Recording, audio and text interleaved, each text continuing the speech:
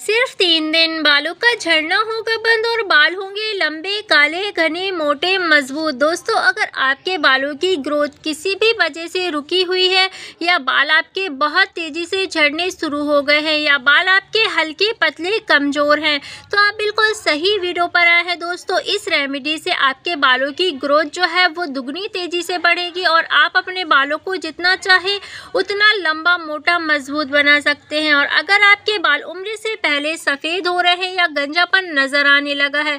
तो इस रेमेडी से ये समस्या भी दूर होगी। और फ्रेंड्स इस रेमेडी की सबसे खास बात यह है, इसे गर्ल्स और बॉयज़ दोनों ही यूज़ कर सकते हैं और इसके कोई भी साइड इफ़ेक्ट भी नहीं है। आप इसे लॉन्ग टाइम तक यूज़ कर सकते हैं और ख़र्चा बिल्कुल भी नहीं है। इसको बनाना भी बेहद आसान है। तो वीडियो को आप सभी को स्टेप बाई स्टेप पूरा देखना है, कैसे बनाना है, कैसे यूज़ करना है। इस रेमेडी को अगर आप वीडियो को अच्छे से नहीं देख देखेंगे तो इसके अच्छे से रिज़ल्ट नहीं मिलेंगे और आप सभी फिर मुझे कमेंट करके बोलेंगे। तो वीडियो अगर आपको अच्छा लगे तो वीडियो को लाइक कर दीजिएगा और दोस्तों मेरे चैनल पे आप पहली बार आए हैं तो चैनल को सब्सक्राइब करके ज़रूर जाइएगा। तो चलिए फटाफट से इस वीडियो को शुरू करते हैं। तो दोस्तों, इस रेमेडी को बनाने के लिए सबसे पहले आपको यहाँ पर लेना है पोटैटो यानी कि आलू। तो आपको यहाँ पर एक मीडियम साइज़ के आलू का इस्तेमाल करना है। इसको आपको सबसे पहले धोकर साफ़ कर लेना है। इसमें जितनी भी धूल, मिट्टी, गंदगी वगैरह लगी हो, वो सारी निकल जाए। इसलिए आपको इसको अच्छे से वॉश कर लेना है। दोस्तों, आलू के इस्तेमाल से बाल मज़बूत होते हैं। ये बालों का झड़ना बंद कर देता है और उन्हें घना और काला बनाने का काम करता है। इसके साथ ही ये बालों की ग्रोथ को तेज़ी से बढ़ाने में मदद करता है। दोस्तों, बहुत ही आसान तरीके से बालों को लंबा, काला, घना, मोटा, मज़बूत बनाने के लिए आलू बेहद कारगर माना जाता है। दोस्तों, ये हर किसी के घर में बहुत ही आसानी से मिल जाता है। इसलिए आपको यहाँ पर बिल्कुल भी पैसे भी खर्च करने की ज़रूरत नहीं है और आप अपने बालों को बहुत ही आसानी से लंबा, घना बना सकते हैं। साथ ही सफ़ेद बालों की समस्या को दूर कर सकते हैं और हेयर फॉल को भी रोक सकते हैं। तो दोस्तों, अब आपको ये जो आलू का छिलका है, इसके छिलके को आपको निकाल निकाल देना है। इस तरीके से आप देख सकते हैं। मैंने इसका जितना भी छिलका था, सारा छिलका निकाल दिया है। उसके बाद एक पानी से और इसको वॉश कर लिया है। दोस्तों, अब आपको यहाँ पर चाकू लेना है। इसको दो भाग में डिवाइड कर देना है और इसके बाद इसके आपको छोटे छोटे टुकड़े कर लेने हैं। दोस्तों, आलू बालों को लंबा करने की प्रमुख भूमिका निभाता है। इससे बालों को जड़ों से मजबूती मिलती है और आपके बाल अंदर से स्ट्रॉन्ग होते हैं। सफ़ेद बालों को काला करने के लिए आलू बहुत ही बेहतरीन होता है। दोस्तों, इसके रेगुलर प्रयोग से बाल लंबे लंबे घने तो होंगे ही साथ ही साथ सफ़ेद बालों को जड़ से काला भी कर देता है। दोस्तों, अब आपको यहाँ पर लेना है मिक्सी का जार या फिर आप यहाँ पर ग्रेटर की हेल्प से इसको ग्रेट करके भी इसका जूस निकाल सकते हैं या फिर इस तरीके से मिक्सी के जार में डालकर आप इसका फाइन पेस्ट बना लीजिए। उसके बाद इसका पेस्ट बनाने के बाद आपको यहाँ पर एक क्लीन बाउल लेना है और आपको इसको स्टेनर की हेल्प से इसका जितना भी जूस है, सारा जूस आपको निकाल लेना है या फिर आप यहाँ पर कपड़े का भी इस्तेमाल कर सकते हैं। तो इस तरीके से दोस्तों आपको यहाँ पर इसका जितना भी रस है, सारा रस आपको निकाल लेना है। दोस्तों, इसके अलावा आलू में जो स्टार्च होता है, ये हमारे स्कैल्प की गहरी सफ़ाई करता है। छिद्रों की ब्लॉकेज को हटाने में मदद करता है। इससे ब्लड सर्कुलेशन बेहतर होता है और आपके बाल लंबे होने लगते हैं।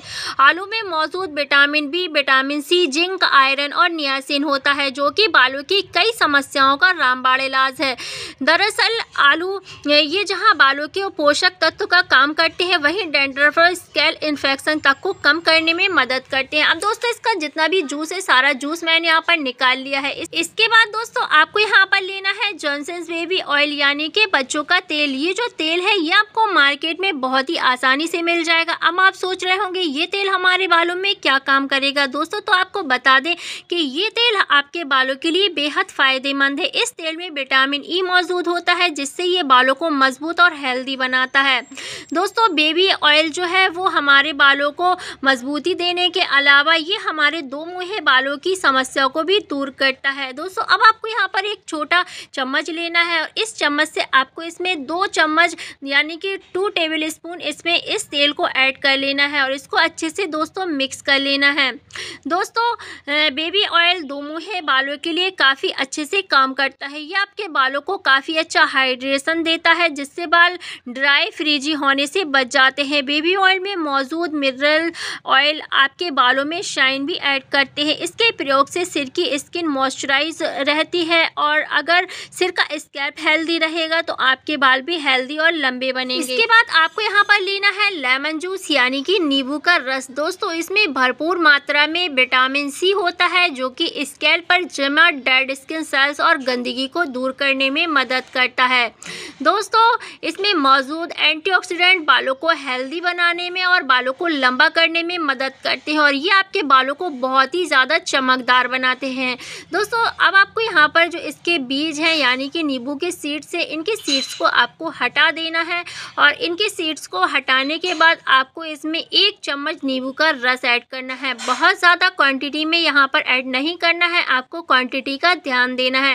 दोस्तों, आप काफ़ी लोगों को ये डाउट रहता है कि नींबू हमारे बालों को वाइट कर देता है। तो दोस्तों, ऐसा बिल्कुल भी नहीं है। आप यहाँ पर नींबू के बारे में गूगल पे जाके सर्च कर सकते हैं, नींबू हमारे बालों के लिए कितना ज़्यादा अच्छा होता है। लेकिन कोई भी चीज़ अगर सही तरीके से इस्तेमाल की जाए, तभी वो हमारे बालों को या हमारी स्किन को बेनिफिट देती है। अगर ज़्यादा मात्रा में यूज़ की जाए तो वही चीज़ हमें नुकसान पहुँचाने लगती है। तो आपको यहाँ पर क्वान्टिटी का ध्यान देना है और आगे आपको वीडियो में देखना है कि इस रेमेडी को आपको कैसे यूज़ करना है। और अब आपको यहाँ पर सारी चीज़ों को अच्छे से मिक्स कर लेना दोस्तों, बालों में आलू का रस और नींबू का रस मिलाकर लगाने से बालों की ग्रोथ जो है वो तेज़ी से बढ़ती है। अब दोस्तों, इसको लगाने के लिए आपको यहाँ पर लेना है कॉटन बॉल्स और इसके, इसको इस तरीके से डिप करना है। डिप करने के बाद आपको यहाँ पर इसको नहाने से पहले आपको अपने बालों पर अप्लाई करना है। कितनी देर तक आपको इसको अपने बालों पर रखना है, वीडियो में आगे बताने वाली हूँ। तो आपको सबसे पहले अपने बालों को इस तरीके से पार्टीशन कर लेना है, बालों की जड़ों पर।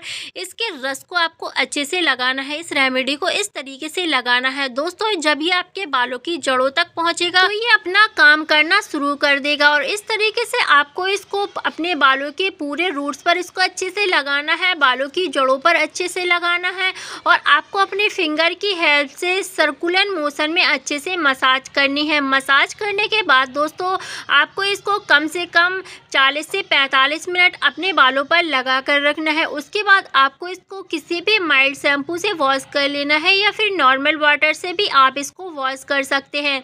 दोस्तों, इस रेमेडी को आपको वीक्स में दो बार यूज़ करना है और दो बार के ही प्रयोग से आप देखेंगे कि आपके बालों में नई जान आ गई है। आपके बालों का जो पतलापन था, वो ख़त्म हो जाएगा। और जो भी आपके हेयर फॉल की दिक्कत थी, वो भी दूर हो जाएगी और आपके बाल जो है जड़ से मज़बूत होंगे और आपके बाल जो है वो तेज़ी से लंबे घने होना शुरू हो जाएँगे। तो वीडियो कैसा लगा, कमेंट करके ज़रूर बताइएगा